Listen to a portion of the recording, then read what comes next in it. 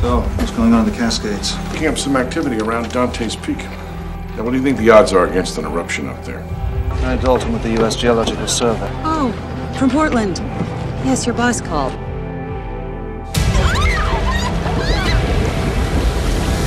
Well, these old rocks here give us some idea of when this area was last active. Yeah, when was that? About 7,000 years ago. We are going to be camped out here for as long as it takes, with seismometers and tilt meters that are going to measure and monitor every little hiccup that the mountain makes. We'll be bouncing laser beams off it to track any changes in size. We'll be analyzing gas in You're making a big mistake, Paul. This is an unstable system, and this town should be on alert. I've always been better at figuring out volcanoes than people in politics. Question is why? Is this town in trouble? I'm the best man you got. You sent me up here to check. I'm doing that. I think attention should be paid.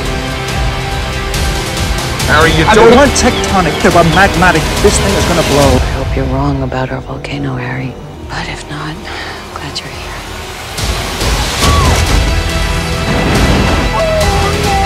Gentlemen, please remain calm.